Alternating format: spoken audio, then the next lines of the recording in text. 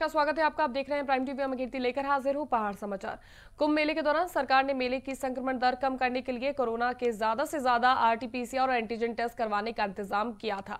इसके लिए जिला स्वास्थ्य विभाग और मेला स्वास्थ्य विभाग ने कुल बीस प्राइवेट लैब के साथ कॉन्ट्रैक्ट किया था, लेकिन अब इन निजी लैबों पर आरोप लग रहा है कि इन लैबों ने सरकार से ज़्यादा से ज़्यादा पैसे वसूलने के लिए एंटीजन टेस्टों की संख्या में बड़ी फर्जीवाड़ा किया है। सरकार से अधिक से अधिक भुगतान पाने के लिए इन लैबों के द्वारा फर्जी आधार कार्डों को दर्शाया गया और इस प्रकार के सभी टेस्टों को नेगेटिव भी किया गया है। लेकिन अब ये मामला आरटी आईसीएमआर के संज्ञान में आने के बाद शासन ने इसकी जाँच की और एक कंपनी के काम में अनियमितता पाए जाने पर डीएम हरिद्वार को इसकी जाँच सौंप दी है। अब सरकार ने इस मामले में जिला स्तर के साथ साथ राज्य स्तर पर जाँच शुरू कर दी है।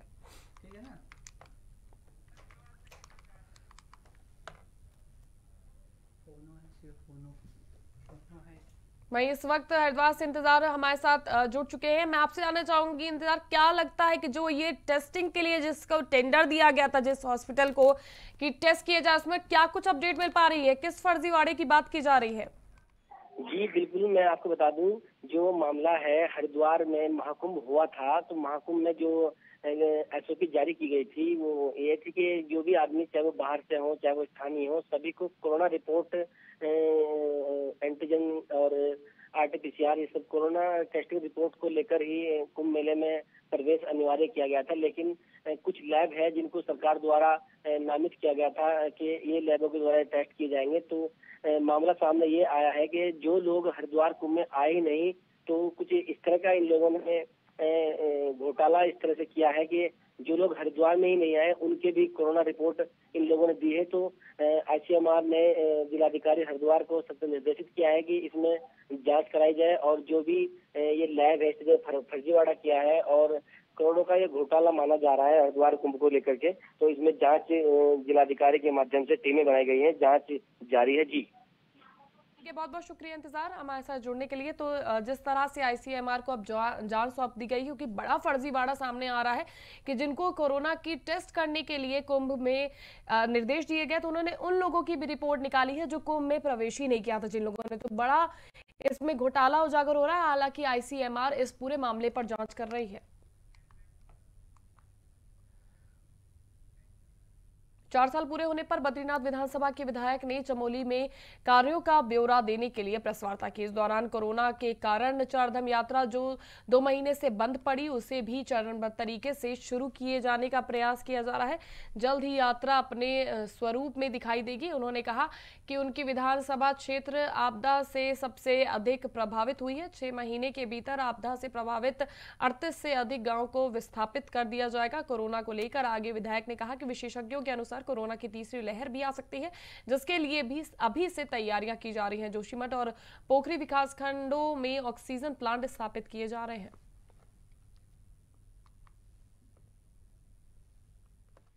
संदर्भ में विषय रखा, शिक्षा क्षेत्र का विषय रखा, मोबाइल से जुड़ी विषय रखे, आपदा के क्षेत्र में क्या क्या किया जा सकता है क्या क्या किया गया है, ये सारे विषय मैंने आज पत्रकार मित्रों के मध्य रखे हैं। और मैं कह सकता हूँ चुनौतीपूर्ण तरीके से मैं कह सकता हूँ, जितनी धनराशि क्षेत्र के विकास के लिए मैं अपने साढ़े चार साल कार्यकाल में लाया हूँ, इसका अगर दस प्रतिशत भी पिछले दस वर्षों में आया हो तो क्योंकि आज तो सूचना का अधिकार हर आदमी पूछ सकता है, इसलिए मैंने समझा कि, उचित समझा कि साढ़े चार साल के बाद लॉकडाउन में जरूरतमंद लोगों को राशन बांटने के लिए खाद्य आपूर्ति विभाग और कई सामाजिक संस्थाओं ने तहसील प्रशासन को राशन उपलब्ध करवाया था। लेकिन विभागीय लापरवाही के चलते आज हालत ये है कि स्टॉक किए गए राशन से सिर्फ़ कुछ ही लोगों को लाभ मिल पाया और कहा जा रहा है कि बाकी का राशन तहसील परिसर के कमरे में सड़ रहा है। हालाँकि मामले को लेकर उप जिला अधिकारी मनीष कुमार ने बताया कि उन्होंने कुछ ही दिनों पहले चार्ज संभाला है। स्टॉक किए हुए राशन की जाँच की जा रही है।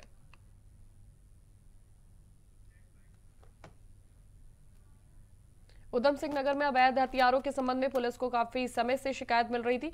इस शिकायत पर पुलिस ने एक्शन लेते हुए लाल कुआँ के क्षेत्र क्षेत्र अंतर्गत अवैध हथियारों का जखीरा बरामद किया है। चेकिंग के लिए अभियान चलाया गया। इस अभियान के ज़रिए पुलिस के हाथ सफलता लगी है। इलाके के शमशान घाट के पास जंगल से तीन युवकों को दो बंदूकों और एक तमंचे के साथ गिरफ़्तार किया गया है। पकड़े गए आरोपियों के पास से ज़िंदा कारतूस और खोखे भी बरामद हुए हैं। गिरफ़्तार किए गए दो आरोपी बिंदु खता के रहने वाले हैं, जबकि एक पंतनगर की चकफेरी कॉलोनी का रहने वाला है।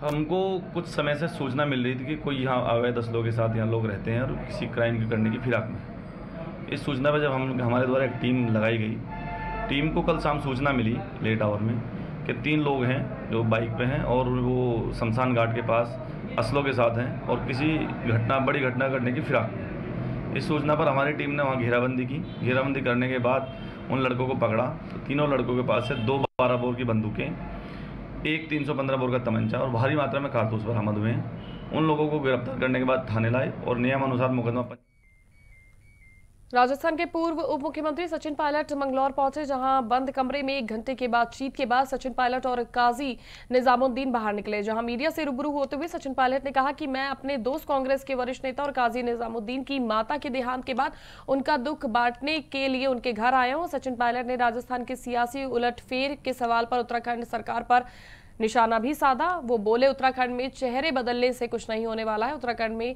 प्रभारी प्रचंड के साथ में कांग्रेस अपनी सरकार बनाने जा रही है। तो वही सचिन पायलट, राजस्थान गहलोत सरकार में चल रही सियासत पर जवाब देने से बचते नज़र आए, जबकि सचिन पायलट कई दिनों से दिल्ली में डेरा डाले हुए हैं। ऐसे में प्रदेश में होने वाले विधानसभा चुनाव को लेकर भी सरगर्मी तेज हो गई है।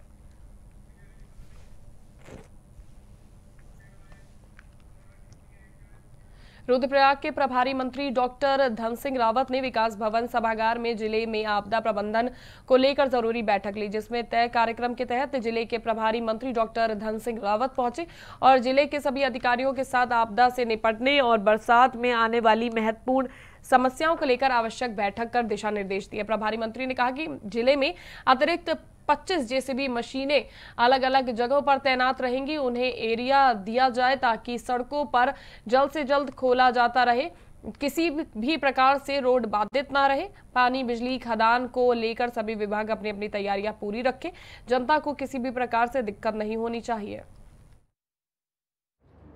तीन बातें यहाँ पे कहने की एक तो की जितनी भी सड़कें और पीएम और जिला प्लान।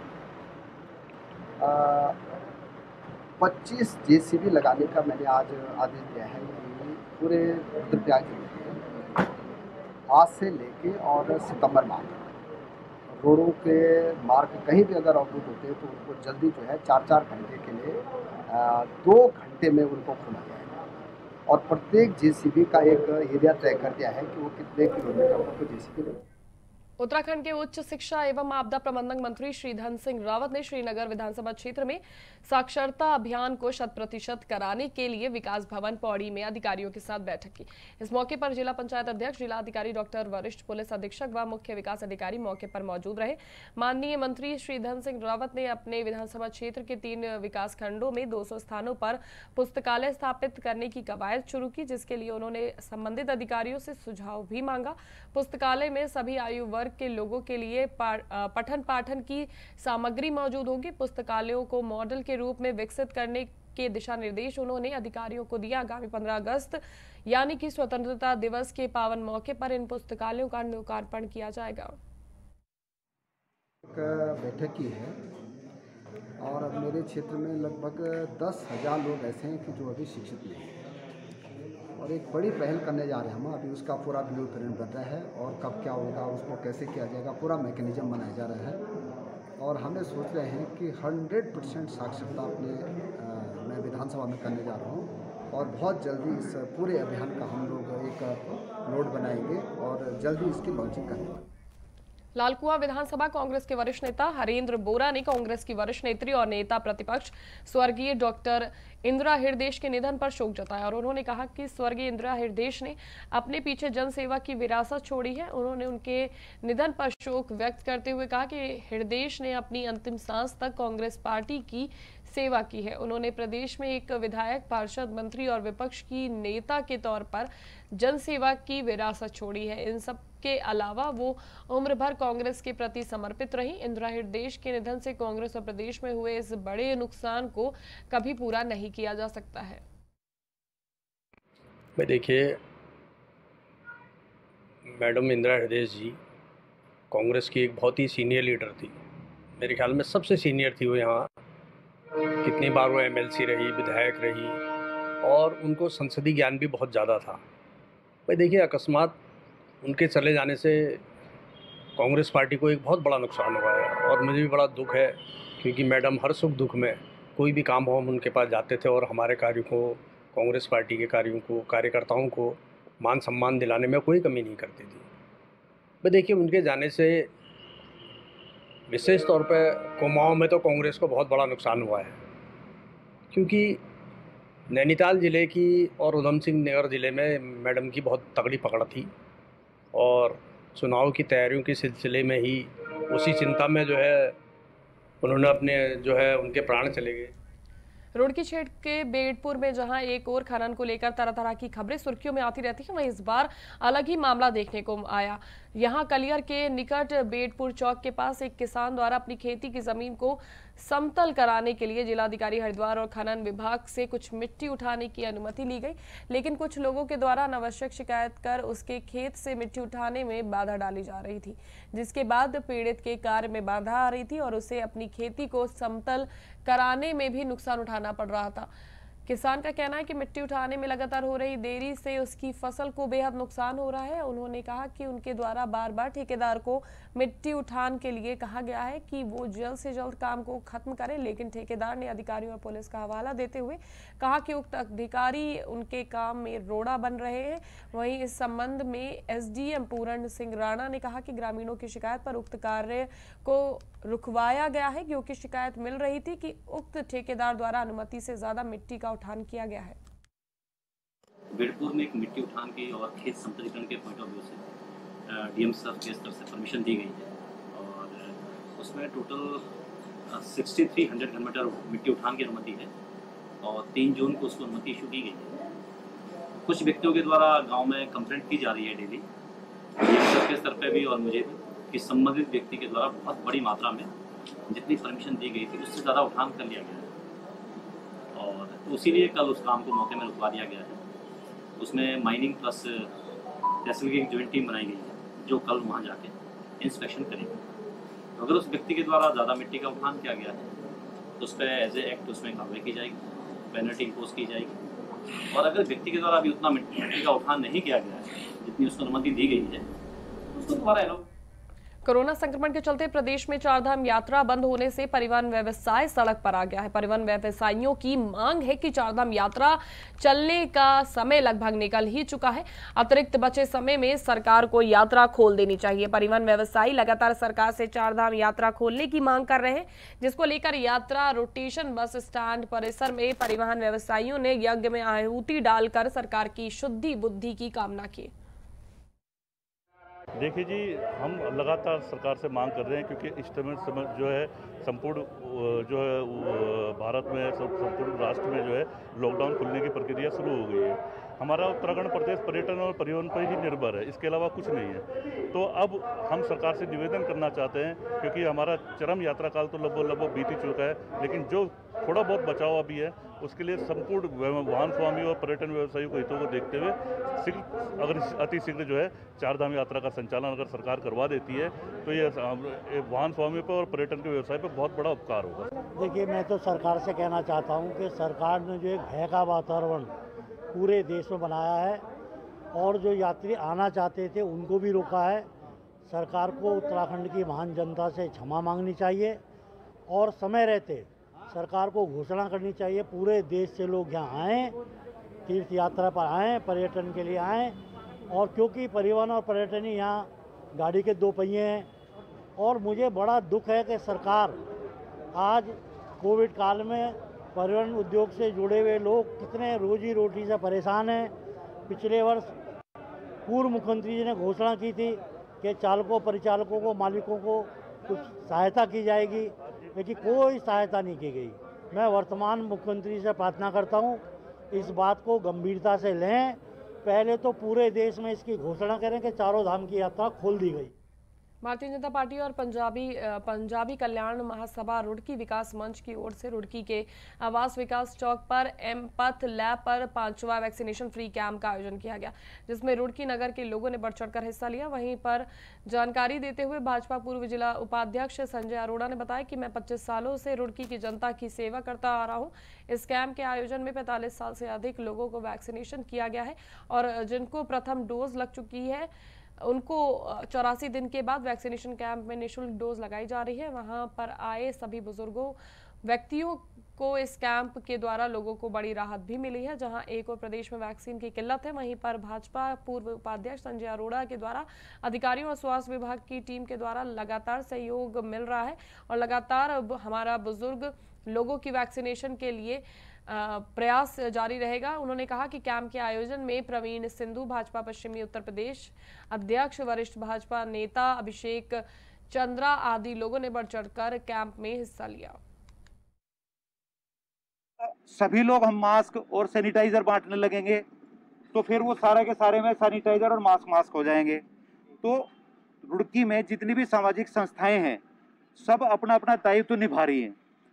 हमने अपना दायित्व तो वैक्सीन लगवाने पर निभाया है। हम भी ये कोशिश करेंगे अभी कि हम लोग भी इसके बाद, जैसे कैंप लगता है कैंप से कैंप के बीच में जो हमारा समय रहता है, उस समय के बीच में हम भी ये कोशिश करेंगे कि शहर में हम भी निकल के जो सैनिटाइज़र का है और मास्क का, वो भी हम देखेंगे कि अगर कोई नहीं लगा तो हम ये कोशिश करेंगे कि हम लोगों को समझाएँ कि भाई जब तक ये कोरोना ख़त्म नहीं होता सैनिटाइज़र मास्क का प्रयोग करते रहें और क्योंकि आज की डेट में कोरोना से लड़ने का सबसे बड़ा माध्यम अगर है डीजीपी अशोक कुमार द्वारा कोविड काल में चलाए जा रहे मिशन हौसला के तहत उत्तराखंड पुलिस प्रदेश भर में जरूरतमंद लोगों की हर संभव मदद करने में जुटी हुई है और जब से पुलिस का मिशन हौसला अभियान शुरू हुआ है, इसमें चाहे ऑक्सीजन, सिलेंडर, दवाइयाँ, राशन अन्य मदद हो, उपलब्ध कराई जा चुकी है।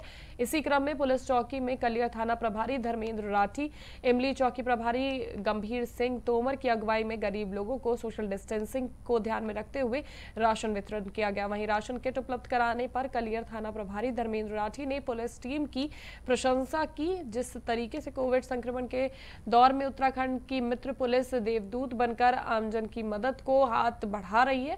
वास्तव में उनकी ये पहल बेहद प्रशंसनीय और सराहनीय है।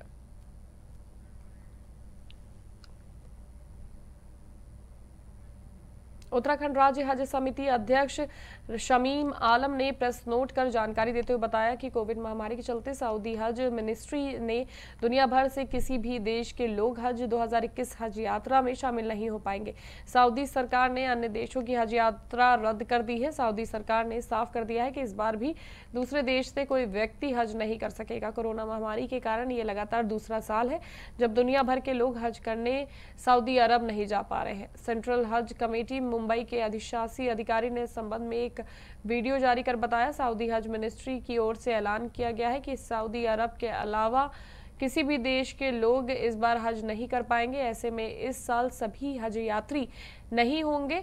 हज 2021 में जाने के लिए लोगों ने आवेदन जमा किए थे, मगर कोरोना की दूसरी लहर को देखते हुए सऊदी सरकार ने 18 से 60 साल के बीच के यात्रियों को हज की अनुमति देने की बात कही थी, जिसमें वैक्सीन के दो डोज लेने वाली वाले ही जा सकते थे। कई लोगों ने हज के पाक सफ़र जाने के लिए वैक्सीनेशन भी करा लिया था। हज के लिए इस माह से यात्रियों का जत्था सऊदी अरब के लिए रवाना होता न होना था, लेकिन अब सऊदी के साठ हज़ार नागरिकों को हज करने की अनुमति दी गई है, जिसमें अन्य देशों के नागरिकों को हज यात्रा में शामिल होने को अनुमति नहीं दी गई है और सऊदी सरकार कोरोना महामारी को देखते हुए अन्य देशों की हज यात्रा रद्द कर दी है।